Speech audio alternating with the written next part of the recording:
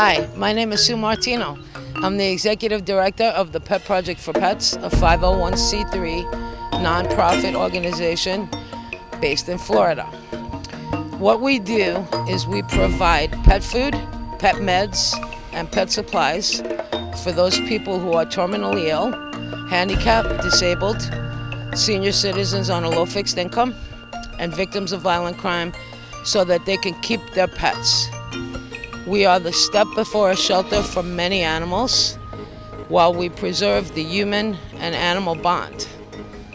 We have monthly food banks in both Broward County and in Dade County where we supply the pet food to our clients and we're presently maintaining over 400 animals at this time.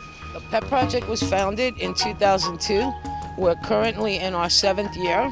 There are social programs for bereavement, uh, for the families of people who are ill, but there's no program for animals or for people to maintain their pets. Hence the beginning of the Pet Project for Pets back in 2002. We struggle on a daily basis to maintain the 400 animals that we presently are serving at this moment. And every week we get new applications, and we never yet had to say no, and I hope we never do. Um, what we need and what we look for. We're looking for sponsors for our monthly food banks. Hence this um, event here at Galanga tonight, sponsored by Mark's List and Gay American Heroes, uh, so that we could raise some funds for the Pet Project. What we need, obviously, funds, donations on any level, high, low, medium. We need sponsors for the food bank. We need volunteers. We need help in all areas as we're growing and expanding. And as we speak, we're getting a lot of calls lately for people that are temporarily out of work due to the economy, and we're helping them too. So that's it in a nutshell. Um, we're here to preserve the human animal bond and to be a step before the shelter for many animals. And I'm very proud to be the executive director of the Pet Project for Pets. Okay, so we're all ready to go to this wonderful event at Galanga. Follow me and let's go inside and have a good time. Hi everyone, welcome to Galanga. Uh, you like Thai or Japanese food? This is a place for you to hang out, to bring your family, bring your friends for your birthday or for your friend's birthday. So welcome and enjoy.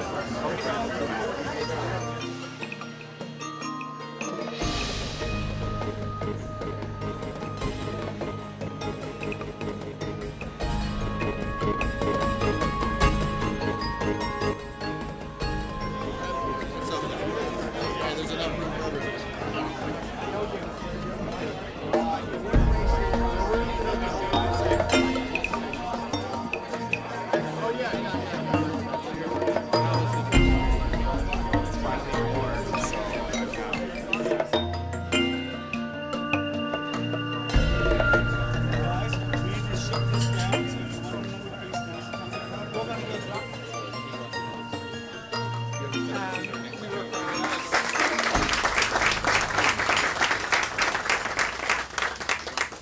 can personally attest to the fact that for many years, uh, this man right here has done more for other people than anybody's ever done for him. I can assure you that. I spent many years with him in business and life and friendship, and he's helped more people than you can ever possibly imagine. And his real passion uh, in his foundation is to help the pets who help people who are terminally ill. And I think we can all attest to the fact that if we were alone and our family had left our side and we were sick, that our best friend would probably be our pet. And Bob saw that a long time ago, and for the past seven years, he's been digging deep into his pocket and he's been doing something great to help a lot of people have a final last uh, few months, few years in their life. And he's also done a tremendous service in helping the pets have a better and healthier life with their best friend as well. Bob, thank you for being here. His partner Roger is here as well. And we're going to have a little entertainment right now. We're going to introduce our celebrity guest from Hollywood, the hot Chris Salvatore's here.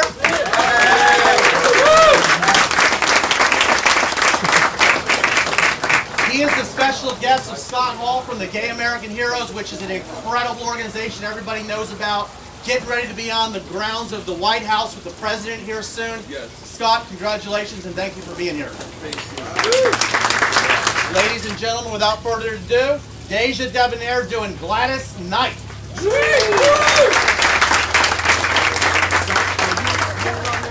Thank you for saying of all the things we've been through. You should understand, like I understand you.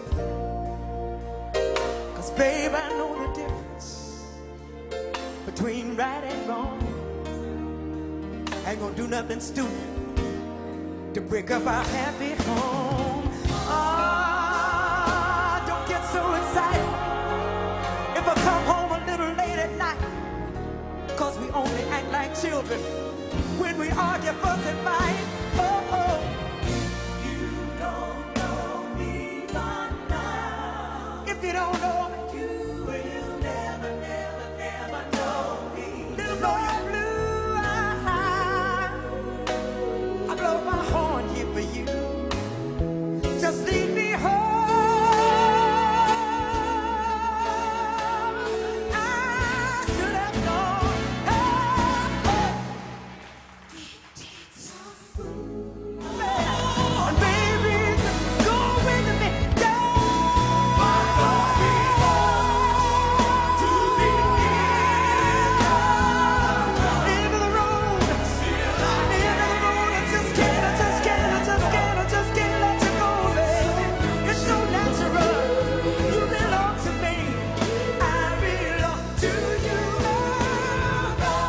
Everybody. I'm Locke Roberts, and tonight we are celebrating seven years the Pet Project for Pets uh, Foundation, which benefits uh, people that have terminal illness.